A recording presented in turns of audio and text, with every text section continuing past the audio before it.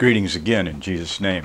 Continuing with this series about exploding these myths of this Reformed doctrine that is in the system today, I want to go over some more of the absurdities that we hear all the time from people that keep posting on the websites, on the YouTube channels, on the blogs, always constantly following the same thing, thing that anybody that claims to have, have been cleansed and purified by faith through a real and genuine repentance and faith proven by deeds is, is a liar and the truth's not in them. They're a hypocrite, they're self righteous, and all the rest of it that you've heard me say.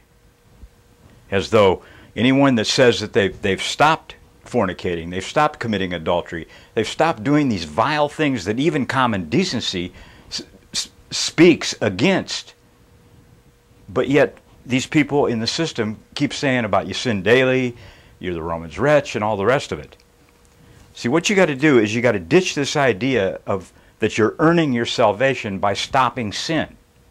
No, by stopping sin, you're getting redeemed from the corrupting influence of sin. That's remember redemption. Redemption means to be released from bondage by payment of ransom. That's what real redemption is. It's not a provision. It's not a substitution. It's a true release from bondage. It's real it's a real born again experience. It's a genuine transformation that takes place. So you got to get rid of this idea that you're earning your salvation or that you're sinless perfection. See, we get this all the time on the YouTube channel. Oh, you're you're sinless. You're teaching. We don't teach sinless perfection. We teach purity of heart. It's not it's not sinless perfection to abstain from the sins listed in the Bible that will disqualify you from the kingdom. Those scriptures in 1 Corinthians 6, 9, and 10, in Ephesians 5, uh, 5 through 7, in Galatians 5, 19 through 21, it says, Let no one deceive you. Be, if you do these things, you won't inherit the kingdom. If you're a drunkard, if you're a fornicator, if you're an adulterer, if you're homosexual, it's not just being mean to say that. It's a warning put in the scriptures to show you that those type of things will not inherit the kingdom. So it's not sinless perfection to abstain from those things. See, it's nonsense. See, you can't be. See, what we're teaching here is that you cannot be a Christian or remain a Christian by committing those sins in 1 Corinthians 6, 9, and 10, and like I, I just said. You can't, you cannot remain a Christian or even be ever become one if you've never if those things have never never stopped if you've never been redeemed released from that bondage that addiction if you're still viewing pornography if you're still addicted to lust if you still have a filthy mind that can't have any pure thoughts you've never been redeemed. It's that simple. And people like ray comfort and billy graham and all these other guys out there that they're teaching that you re, you remain filthy. See so if you can't stop doing these vile things, then why be a Christian or claim that you're one? See, if you've truly repented and put the old man to death, the body of sin being done away with, newness of life has come, the flesh is crucified, then you're no longer addicted to lust and fornication and drunkenness and these broken relationships and going to person to the next person to the next person, having children without being married and all this wrecked lives that we see testified of on the blogs. You need to be redeemed. You need to be truly, truly transformed. Like that metamorph, that's what that word is. Metamorphosis takes place. There is true redemption in Christ. But you're not going to find it within the system of people like Comfort and all these other guys out there that go out in the streets and try to teach this pinpoint evangelism that they call it, trying to convince people they're sinners and they pray the sinner's prayer, they receive Jesus. That's not that's not the plan of redemption. That's why I'm against these things. Let God be the judge of these men. I'm not being the judge. I'm just exposing that what they're teaching is not the plan of redemption in the Scriptures. The plan of redemption in the Scriptures is ransom, reconciliation, and redemption through repentance and faith proven by deeds, not a provision and a magic cover for sins. That's not what it is. So, you got to repent of these things. So most people under that that system they repent of what? They repent of their unbelief. Well, unbelief. Well, most people have always believed to begin with.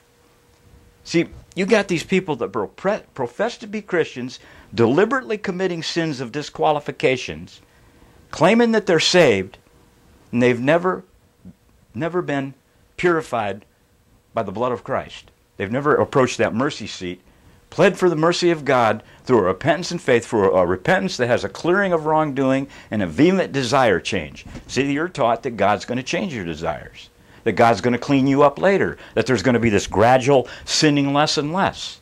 You mean committing adultery less, getting drunk less, viewing pornography less? Is that I I just can't help but think that's what you people mean when you keep defending these things. Or, do you, am I wrong? Or do you mean that just little slip ups and uh, a little a little you forgot about this, little sin, sins, not sins of presumption, but but uh, just mistakes? I can't help but think the people that on these blogs, because of what they talk about, they're addicted to these things and they claim that they're in Christ.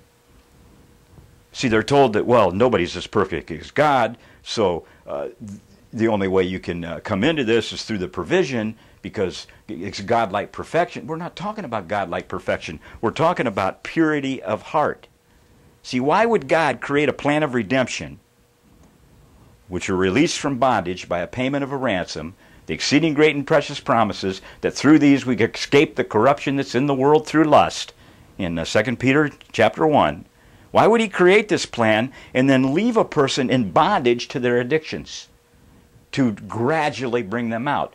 The problem is nobody ever comes out. They just keep getting worse. But see, the thing is, this absurdity of nobody's perfect. Even though the Bible says in Matthew 5:48, "Be ye perfect." Perfect meaning maturity, lacking nothing of completeness, uh, human integrity and virtue. See, it's moral perfection that's that's lacking here. It's moral perfection and obedience to God. It doesn't mean God-like perfection. No one can achieve God-like perfection, but people can surely stop committing vile sins of the flesh that will disqualify them from the kingdom. That's my premise. See, I, th- I say the Bible's teaching that you do these things, you will not inherit the kingdom. Isn't that what the Scripture says? Let no one deceive you with empty words, for because of these things the wrath of God becomes comes upon the sons of disobedience. Be not partakers with them. I, I don't know how much more clear it could be. How much more clear?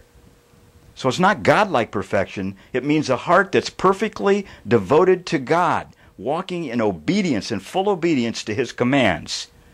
See, the, no one's perfect is not found in the Bible. See, what you guys got under the provision. Under the provision, you've got the first, I, I even remember way back when I didn't know any of this stuff, we, when my wife and I first came through a real repentance and been searching the scriptures for months and months. And we were, first thing we were encountered in the church was you were the Romans wretch, the Romans 7 wretch, Everybody has this horrible nature inside them. The chief of sinners. I remember the pastor telling me, oh, we're all the chief of sinners. Your desperately wicked heart, filthy rags. You sin daily in thought, word, and deed. Nobody can stop sinning. And that's, that's really pretty much the size of what, of what is pounded into your brains. But yet the Bible teaches the exact opposite. In 1 Peter 2 9, it says, You're a chosen generation, a royal priesthood does a royal priesthood fornicate?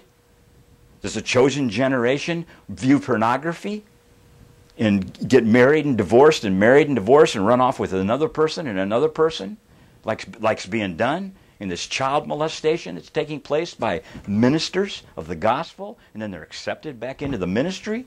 No, no. See, the Bible says you're a royal priesthood, a royal priesthood, a chosen generation, a holy nation, holy nation. Without holiness, no one will see the Lord, right?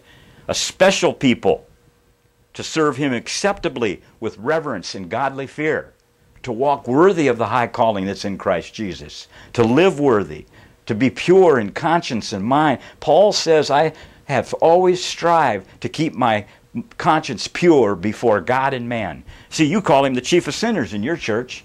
You say Paul's sinning every day. That ain't what the scriptures taught. He's talking about his past in that scripture, not what he presently is.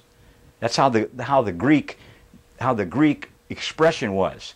And like it says, such were some of you in 1 Corinthians 6, 11, 6, 11 after it talks about the people who were, he, that will not inherit the kingdom if they do these things. So if you were purchased out of this by the blood of Christ, then you enter into this special relationship to serve him reverently with godly fear, like Hebrews chapter 12 talks about, the very last verse. That's the aroma of life. See, you're taught that, that Christ became sin on the cross for you. And that uh, God transferred, he, he had this magic dual imputation, as these, these, these theologians teach, these Bible scholars, pundits. Like I said before, in my last two videos, that stuff came out of the Reformation. It didn't come out of the Bible. It was never taught by the early saints. Nowhere was it ever taught until these, these people decided that salvation was a forensic deal between God and man. No, it wasn't taught anywhere. See, that's why it says in Philippians that that uh, that that indeed I have have all and abound, and I am full and receive all things which were sent to you, a sweet smelling aroma, an acceptable sacrifice, well pleasing to God. See, he's talking about an acceptable that the saints offering up an acceptable sacrifice pleasing unto God. The aroma of life. See, this is the aroma of death. The filthy rags, the chief of sinners, the fornicating, the adultery, the filthy mind, the addiction to worldly entertainments, and the lust of the flesh, the lust of the eyes, and the pride of life. It's the aroma of death. Because why? The rotting smell of sin. That's why Jesus could not have become sin on the cross, because it says in the scriptures that he offered himself up as a sweet smelling sacrifice unto God. Well, how could sin be a sweet smelling sacrifice? It'd be, it'd be a stench in the nostrils of God. It'd be a stench. No, it says that he was blameless, without spot. It says there was no sin in him in 1 John 3. There was, there was no sin in Christ. He could not have been blackened by sin. That's under this penal substitutionary model that's being taught far and wide across the globe today by almost everyone that leaves people in this desperate state of wickedness, in addiction.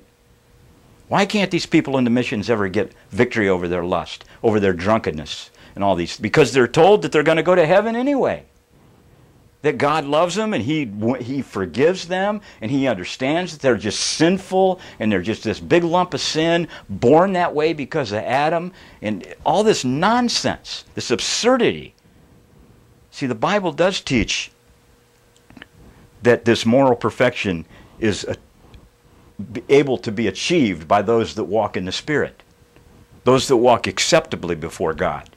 That's what the scriptures teach. Those that depart from iniquity, those that go and sin no more.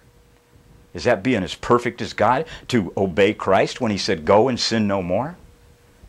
See, you, you have to make a determined effort to go through that process of repentance so that you can be truly redeemed from your sins by touching the blood of Christ.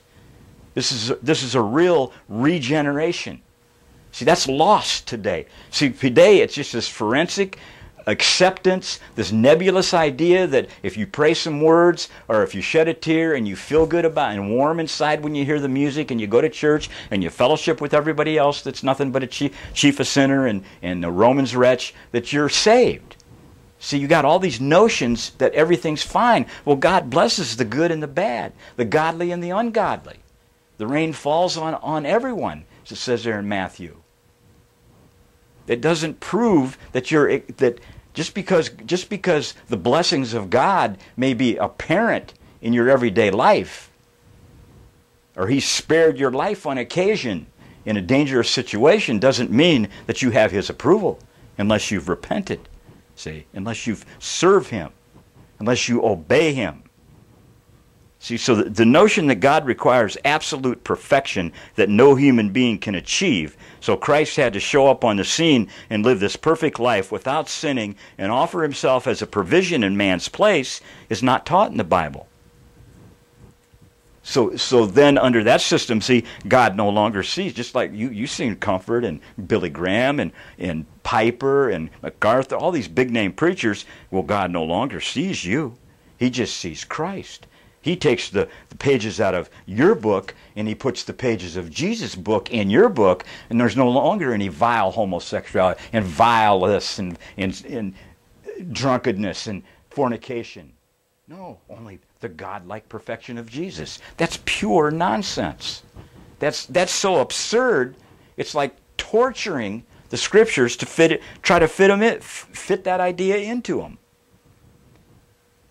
So under that, all you got to do is believe, and you're then perfect in Christ, even though you remain wretched to the core by your own omission that you post on the blogs every day. This is the basic premise of, of Christianity in the world today. And that's what we're contending against. Like I said, we're contending against a system of error. The whole system is in error. Is there any good? Yet there's some good. Certainly. Just like in politics, there's some good, there's some bad. The same thing in the system. They do some good works, they do, but it's not the gospel, it's not the gospel of redemption bringing people to a regeneration in Christ. Otherwise, we wouldn't see them wallowing in the gutters constantly. We'd see alcoholics redeemed. We'd see drug addicts cleansed. We'd see people addicted to pornography not constantly having to go into a Promise Keepers rally over and over again, falling right back into that sin. And like I said, I've heard that testified of many, many times. See, the people that have truly repented are no longer committing these sins of fornication and drunkenness and lust and addicted to worldly entertainments. They're no longer doing those things. Why? Because they're perfect and they're like the per no, because they've been redeemed in Christ. They've been redeemed and purified. So none of that stuff's found anywhere in the Bible. See, it, it, the reason it it fits so well that people are convinced by this illogic that you're born in sin, you can never stop sinning, and and actually consider that the Bible teaches that is because like one brother said, they have no intention of stopping any of these things anyway. See, if they would, if they would accept the truth of this, those of you that constantly criticize the message that that uh, the people that contend for the faith on the blogs and in the YouTube accounts, if if they were to actually admit this, that God God requires this, that there's no fornicating Christian, there's no drunken Christian, there's no Christians living in lust and filthiness of the flesh. There's not there's such thing. There's no carnality. The carnally minded is death. Well, then they'd be terrified out of their minds. Because the churches would they would be running for running for the hills. If somebody told them they actually had to work out their salvation in fear and trembling to make their calling election sure in Christ, putting forth a genuine effort to add to their faith. See, it'd be an end to the fallacy of the people sitting in these sitting under these ministries Instead of then constantly telling them they're nothing more than poor, helpless sinners saved by grace and they're just beggars out there, then the preachers would actually have to present every man perfect in Christ and bring everyone to a full knowledge of God, to the perfect man in the measure and the stature and the fullness of Christ, and be examples to the flock. Contrary to the daydream that most people are living under, professed believers, these professed believers are living under, the Bible actually requires that a person of God, a person that's been redeemed, to present their bodies a living sacrifice, wholly acceptable to God, which is your reasonable service. And be not conformed to this world, but be transformed. There's that word again. Transformed. That's the redemption. That's that new birth. Be transformed, not just to say it, but to experience it. Be transformed by the renewing of your mind that you may prove what is the good and perfect and acceptable will of God so you can prove it, so you can examine your faith and know that it's genuine and not reprobate. A faith that does what God says. A faith that works by love, that purifies your heart, that has victory over sin, the flesh, and the devil, that puts the flesh to death, that crucifies the flesh with its passions and desires. See, be transformed by the renewing of your mind. See, this is what happens in regeneration. The mind is renewed from this insanity See, that's the problem with most people. That's why people are on these psychotropics. That's why people are taking a, form, a whole cocktail of drugs today. And then they're mixing alcohol and lust and everything else with it. And then they go kill a bunch of people. And all this nonsense is taking place because of ins- the insanity of the mind. They're given over to a reprobate mind. That's the reason. See, the renewing of the mind in Christ by the Spirit when you're truly regenerated by that Spirit. See, the common excuse that everybody sins daily in thought, word, and deed is a deadly fallacy. That's why I come against comfort in the rest of these guys. See, these people that live in constant defeat day after day, they've never truly repented of their sin. If they had, they would, they would find that purity of heart. That's at the end of true repentance. They've never strived to enter the narrow gate or dug deep to lay a firm foundation in Christ or counted the cost of discipleship. They've never done any of those things that the Scripture says to do. If they had, their hearts would have been made truly pure by obedience to the truth and the purging of the blood of Christ. When you encounter the blood of Christ, it purges your heart of sin. It purifies your conscience from dead works. What's dead works? This mess in the church, the professed church, the system. It's a mess of dead works. See, they say, the chief of sinners crowd says it's prideful to claim that you've departed from iniquity, or that he who does what is right is righteous, that you have deeds that were befitting repentance, as it sa- says so many times in the scriptures. As though a person that is seeking to self justify themselves if they obey Christ and stop sinning and do what's right. Doesn't even common decency testify to your logic, to your sense of common, common sense logic? That that's the way that you would want to obey Christ. Stop doing all these vile things that are wrecking your lives and making your lives a, a human pile of, of destruction. And calling the people that do these things, oh, they're self righteous. They don't have no love. The reason we appear you don't have no love because this stuff stings to you folks that constantly living in sin, and you're looking to it, you're heap, heaping to yourself teachers to tickle your ears, turn, turning you away from the true doctrine according to godliness. So you never be partakers of His grace. You think you are. You think you're, you're the pie in the sky when you die by and by. You think that's what's going to happen because you feel good when you go to church. You shed a few tears sometimes at the altar when you pray, and you feel the Holy Spirit. No, you're feel what you're feeling is a euphoria that comes about conjured up in your own mind. See, the mind works by these neurotransmitters in your mind releasing chemicals into your brain to make you feel good.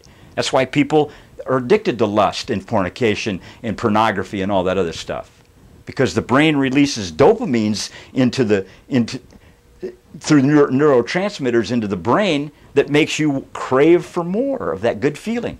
Well, see, when the mind's renewed, you have the very opposite of that. Instead of craving for the world, you're craving for the things of God. You're striving to enter. You're hungering and thirsting after righteousness. You're digging deep into the scriptures. You're fulfilled. You're fulfilled by the things of God instead of the things of the world. Love not the world or the things in the world. The, all that's in the world, the lust of the flesh, the lust of the eyes, and the pride of life is not of God, but of the world. The world's passing away, but he that does the will of God abides forever. You know what it says in 1 John 2? But of course, it doesn't mean anything to you. So is it prideful then to depart from iniquity? Self justifying? See, it says, in James 4. He cries out to the people to come close to God, draw close to God, and He will draw close to you. Cleanse your hands, you sinners. Purify your hearts. How do you purify your hearts? With this provision, where you're admittedly still filthy. Just like the Pharisees. The Pharisees that your preachers constantly harp on as the biggest hypocrites that ever walked the face of the earth, what was their problem? What did Jesus say? You cleanse the outside of the cup, but the inside is filthy.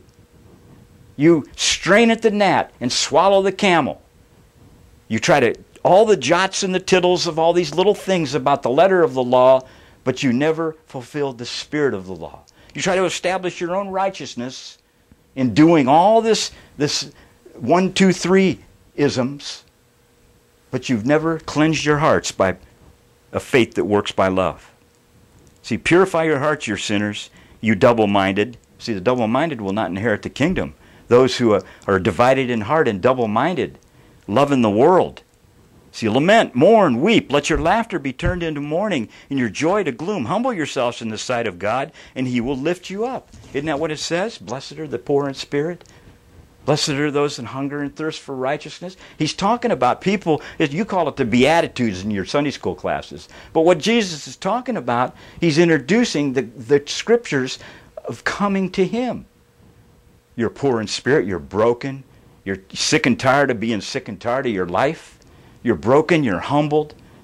You're coming to him thirsting for his newness of life, for those living waters. Why do you think it, it, it likens, it, the scriptures liken it always to living waters, of partaking of his flesh and blood, of being part of Christ, because that's how the human brain works. See, the reason you think you got a sin nature is because of this, that addictive nature of your mind, those neurotransmitters in your own human brains that clicked off so many times that it's now by nature.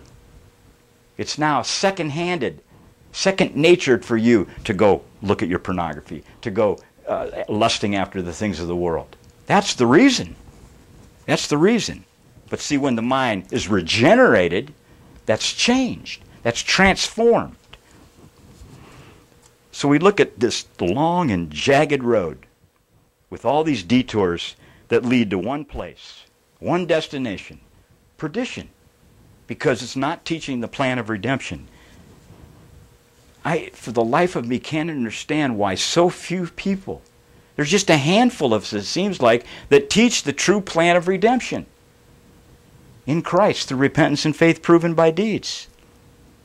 See, the fallacy of this human depravity that forms in the mind of believers some kind of an inbred sin that inevitably brings about all their sinful nature, calling it the sinful nature, blaming every addiction known to man for it, See, the, the scholars call it this depravity. That's what in the Westminster Confession, the man is born wholly depraved, incapable, wholly dis- disposed to wickedness, and cut off from God. See, they'll even demonize infants and toddlers. I don't know how many times I say, well, what about, I hear people on the blogs, well, what about little kids? Who taught them to be selfish? And the, scriptures teach that children says Deuteronomy 139, moreover, your little ones, your children, your little ones, your infants, your toddlers, who you say will be victims, you know, going into the land they're talking about, who have no knowledge of right or wrong or good or evil. See, they're not at, the, at an accountability until they sin willfully against their conscience. That's what it's talking about in James chapter 2, or James chapter 1, where he talks about sin is conceived in the mind. See, when the mind, when the will, when the, when the mind and the will combined, then transgression takes place. See, they, they dwell in this depravity angle that you're born in this state of total degeneracy, wholly indisposed, in evil, just lump of sin, as the old uh, so-called so-called theologians used to call it, in demonizing even infants. See, professed believers don't know they don't like to think of themselves as totally depraved, but they do key in. The people certainly do key in on this sin nature myth because it's the perfect excuse for their wrongdoing. And they make that the central core doctrine in their minds to facilitate the substitutionary plan of salvation. And it certainly does. That's the reason they preach the way they do, because it fits right into it. See, if you have this sin nature that you can't help, that you have no control over, well, then God had to make a provision for you to come in. See, the reason, but there's no support for it anywhere in the Bible. We've went over all the scriptures many, many times. We'll touch on a few of them in the next section here as we close this section and tell you that the main reason that you think that you're born a sinner without ability to obey God and choose between right and wrong is be- simply because you don't want to obey God. Because you have to desire. It says, if you seek out God, He, he reveals himself to those that what? Diligently seek him. If anyone will come after me, will make a concerted effort to take up their cross and come after him. So you can choose to obey or disobey, sin or not sin. And we'll cover what he said, what God said to Cain in Genesis 4 7 in the next section.